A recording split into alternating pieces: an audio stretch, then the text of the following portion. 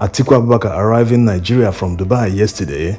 On the other hand, APC goons have increased their attacks on Peter Obi. Not just them alone, even PDP members are attacking Peter Obi at this time. Are we in a new campaign? What is really going on? While Atiku Abubakar said the reason he came back to Nigeria from Dubai was because of the NEC meeting that PDP will hold. Being the presidential candidate in the last election, he's the leader of the PDP for now so he needs to be here. But that's not the only reason he's back in Nigeria. This is because what Peter Obi is doing in northern Nigeria, many politicians are not happy about it. They want to counter him by all means. That's why there's a sudden increase from the APC on their attacks on Peter Obi. P2B has simply refused to let go, unlike Atiku Abubakar, who left for his base in Dubai a few weeks after the Supreme Court verdict.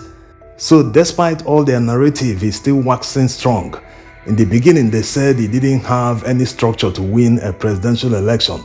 From not having the structure to winning many states and scoring more than 6 million votes, that's the INEC allocation by the way. All these he achieved in less than a year. Imagine having three years before another presidential election. Not that Peter Obi is campaigning, after all he's been doing this for many years. He's been breaking fast with Muslims during Ramadan so it's not as if it is new, but surely he's creating a good impression about himself. And as a trader, he recognizes a market when he sees one. You know, politicians, they always brag that they have the grassroots. That's what they use to negotiate with politicians who are contesting for elections. They want to be the middlemen between these politicians and the grassroots. But Peter Obi is having none of that. He's going to the market directly by himself. If a businessman goes to the market himself, he will market his goods directly to the consumers. No middleman needed. That's exactly what he's doing. So many politicians are not happy because the only thing they can use to negotiate with him in future is gone. Yes, if you are trying to tell someone that you control the grassroots and the person is already in the grassroots, people are seeing him, people are interacting with him, he's taking photos, he's eating with them, he has completely made you irrelevant. And many people will say, ah, is it not these people? We know them. When the time comes, they will still vote for the people who oppress them, who have plunged them in poverty. But there's a difference this time around. Let's start from Buhari's administration. They weren't even told to vote for Buhari. Most of them saw it as an obligation to vote for him, to put him in power against Goodluck Jonathan. Many Southerners also had the view at the time that he would be different. Fast forward to 2023 when Buhari left office, he did not even attempt to solve the problems. Many of the problems in the north and Nigeria at large tripled or doubled. In fact, before he left power, many northerners were already criticizing him. Now, during the presidential election campaigns, many of them were told, support this person because he supported Buhari, because he's a Muslim, he will do this. Many lines they used to convince them up north to support Tinubu. But 10 months in, it is clear to everybody, even the people that told them to support this person, people that convinced them, are already crying. They are already regretting why they voted for him in the first place. So who is going to convince who next time? You see, it's easy for people to generalize because of Nigeria's history, but this time it is different. Many people will use lines like, hey, he only has four years to go. It will come back to the north we will try to solve the problem, but many will refuse because how many times will you fool someone before he will say, Hey, I am being fooled? This is a lie. We have to do the right thing.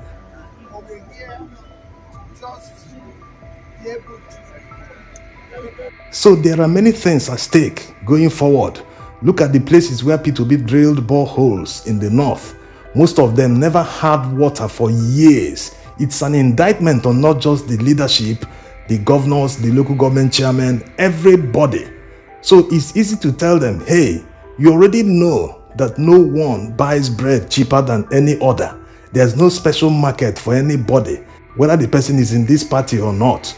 Everyone goes to the market. The same thing on insecurity, it affects everyone. So it will be easy to make a choice when the time comes and the fact that these people can be easily convinced, even if it's based on religion or anything, a superior argument will convince them when the time comes.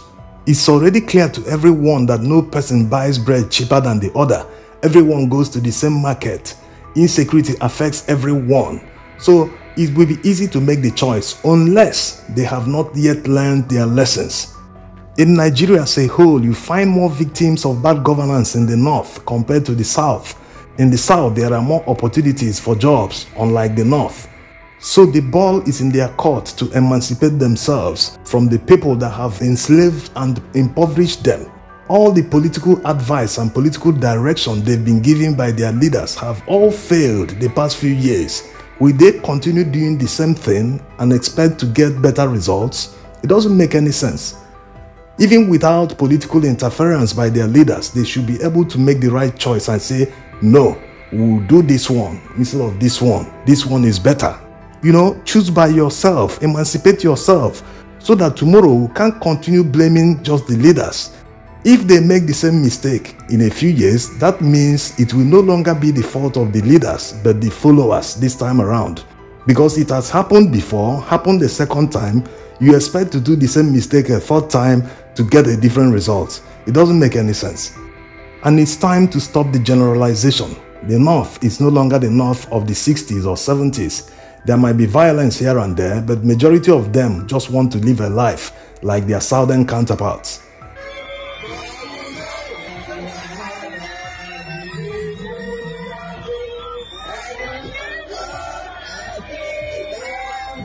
Yes, that's an emir in Adamawa state singing a hymn with Christians during Easter.